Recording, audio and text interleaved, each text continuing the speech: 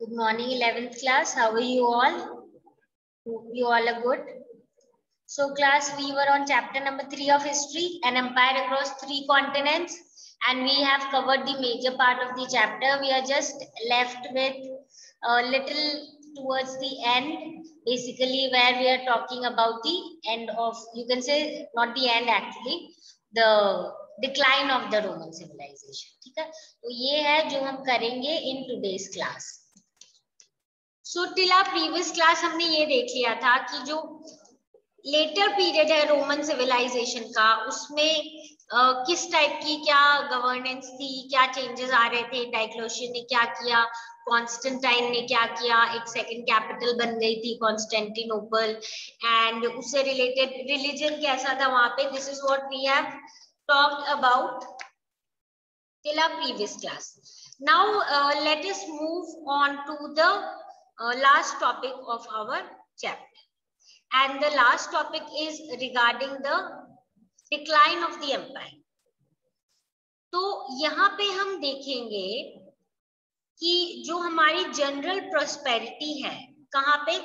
Specially मार्ग in the east where the population was still expanding till the six century so हम यहाँ पे ये देखेंगे कि ईस्टर्न uh, साइड जो है रोमन सिविलाइजेशन का इट वाज स्टिल प्रॉस्परिंग और जिस अभी हमने जितनी प्रोस्पेरिटी से रिलेटेड बात की है वो जनरली एम्पायर के ईस्टर्न साइड पे है ठीक है and it was still expanding till the six century despite the impact of the plague which affected the Mediterranean in the 540s.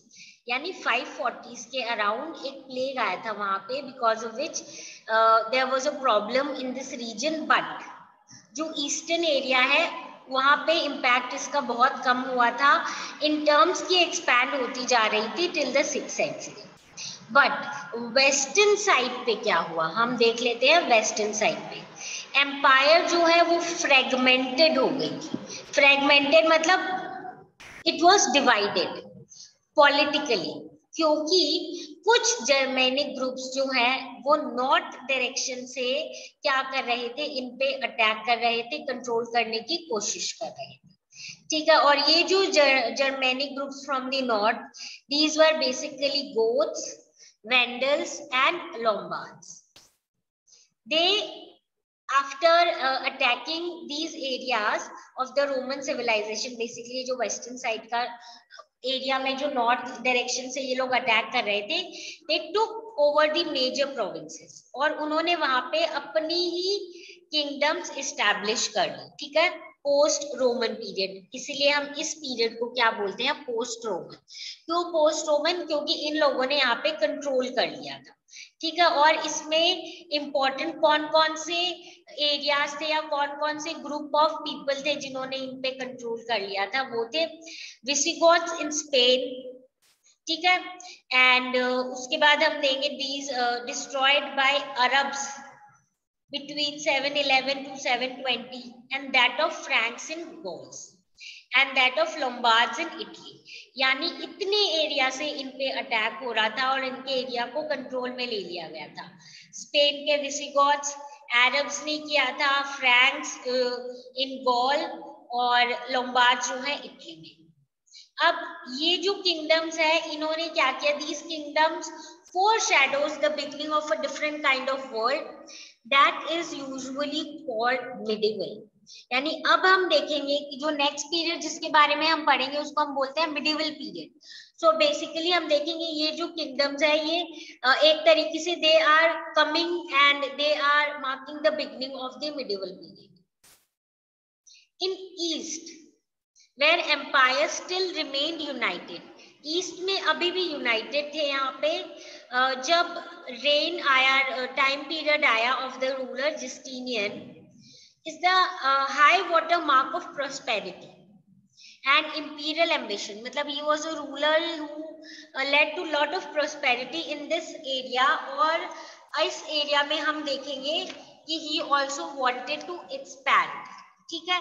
He wanted to recapture African region from the Vandals but his uh, recovery of Italy left that country devastated and paved the way for the Lombard invasion. ठीक है तो Africa वाला जो area है he uh, wanted to capture and he did recapture this area Africa वाला Vandals में but his recovery of Italy जब उन्होंने कोशिश की कि इटली uh, जो है वो वापस से ले ले फ्रॉम द ऑस्ट्रोगॉट्स बट उसके कारण हुआ क्या? जो पूरी कंट्री है, उसमें प्रॉब्लम्स क्रिएट हो गई.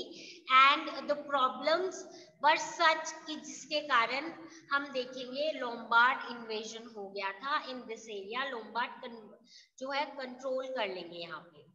अर्ली सेवन सेंचुरी तक वॉर हुआ between Rome and the Iran again और उसमें क्या हुआ? जो सेसेनियंस थे जो उस टाइम पे ईरान पे रूल करते थे थर्ड सेंचुरी से उन्होंने एक बहुत बड़ा इन्वेजन किया। ज़्यादातर मेजर जो ईस्टर्न प्रोविंसेस थे इजिप्ट को मिला के उनके ऊपर कंट्रोल कर लिया। तो अब जो रोमन एम्पायर था बेसिकली नाउ इंक्रीजिंगली नोन अब इसको बेसिकली uh, बोला जाता है बाइजेंटियम एम्पायर इस time period phase of Byzantine Empire, that was actually Roman Empire, was now increasingly, uh, we'll see that uh, it basically was now in a problematic situation.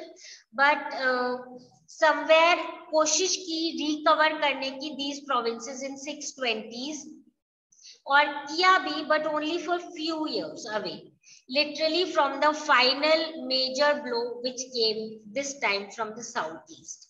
अब major इनके ऊपर problem कहाँ से आई south east से, ठीक है? South east direction of the Roman civilization और ये जो एक्सपेंशन है इस्लाम का from its beginning in Arabia is called the greatest political revolution ever to occur in the history of ancient world.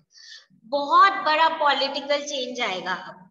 इसीलिए इसको हम बोलते हैं कि ancient world almost ancient world के बाद अब मिडिवल पीरियड आ जाएगा। और ये इतना बड़ा चेंज है कि इसको ग्रेटेस्ट पॉलिटिकल रेवोल्यूशन बोल, बोला जाता है एंशियंट वर्ल्ड का ठीक है? बाय 642 uh, हम बोलेंगे around only 10 years after prophet Muhammad prophet Muhammad death जिनके बारे में हम डिटेल में नेक्स्ट चैप्टर में पढ़ेंगे। Large parts of both eastern Roman empire and the Sasanian empire जो है वो अरब्स के अंदर आ गया था और बहुत सारी कन्फ्रंटेशन हुई जिसमें अरब्स जो है वो जीत गए थे।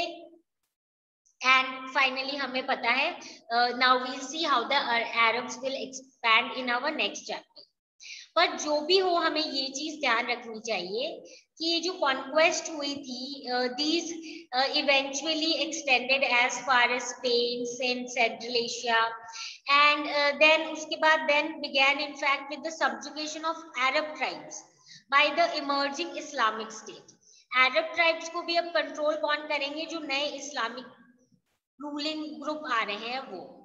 फ़र्स्ट विद इन ये लोग एक्सपैंड हो रहे हैं then they are expanding in the Syrian desert around Iraq and then we will see कि पूरे अरेबियन पेनिनसुला का कैसे ये यूनिफिकेशन करेंगे और फाइनली टेरिटोरियल एक्सपेंशन किसका होगा? इस्लाम सो नटशेल में अगर हम देखें कि इनिशियली ठीक है western empire was facing lot of problems with many you can say different groups attacking इधर ईस्टर्न एम्पायर पे भी अटैक हो जबकि जस्टिनियन ने कोशिश की थी एक्सपैंड करने की but slowly and gradually he could not. Initially he was successful, but later on then he lost in many of the wars. और फिर धीरे धीरे फाइनली जो अरब वाला एरिया है एक्सपेंशन ऑफ़ इस्लाम होने के कारण पूरा ईस्टर्न और वेस्टर्न सिविलाइजेशन के साथ साथ और बहुत सारी एरिया जो है वो इस्लाम जो पॉलिटिकल ग्रुप के फॉर्म में डेवलप हो रहा था उनके अंडर आ गया तो ठीक है और इस पूरे एक्सपेंशन के बारे में कैसे हैरत से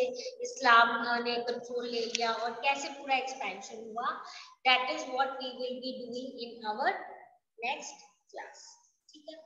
So you just need to remember these few important things regarding this chapter I suppose we have Uh, done in detail regarding this chapter, and I uh, don't think you may be having any doubt agar aapki koi bhi doubt ho class feel free to uh, talk and we'll discuss and we'll try to solve whatever problem you have.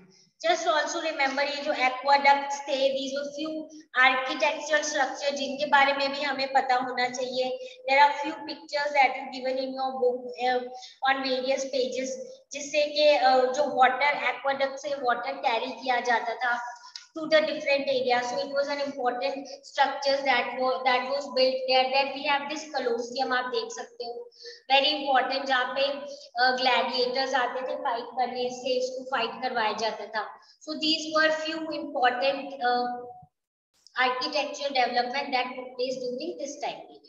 ठीक है the whole Roman civilization starting कैसे एक initial Republic से वैसे एकदम starting में monarchy से republic हुआ that this history we have not done then इस ब्रीफ अपने डिस्कस किया है फिर रिपब्लिक से कैसे प्रिंसिपेट हुआ कैसे एम्पायर हुआ कैसे डेवलप हुआ कैसे एक्सपैंड हुआ कैसे उनकी सोशल लाइफ थी लिटरेसी लेवल क्या था आर्किटेक्चर कैसा था और बाकी डेवलपमेंट क्या थी एंड uh, कैसे finally it decline So I suppose chapter must be clear to you अगर कोई भी डाउट हो class feel free to ask we'll discuss and solve So this is it for today. Now we will meet in the next class with our next chapter.